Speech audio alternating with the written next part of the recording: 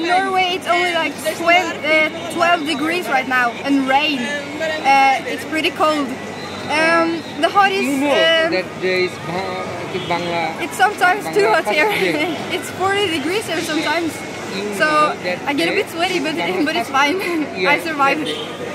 In Norway, I only wear uh, pants all the time and uh, shorter tops. Um, the culture is pretty different. I have understood that I have to cover up a bit here, so that's why I'm wearing this. Um, I kind of like it.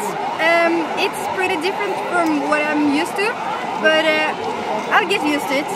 I only go with uh, blue, gray, white, and black home. Nothing more. Never colorful, and I love it.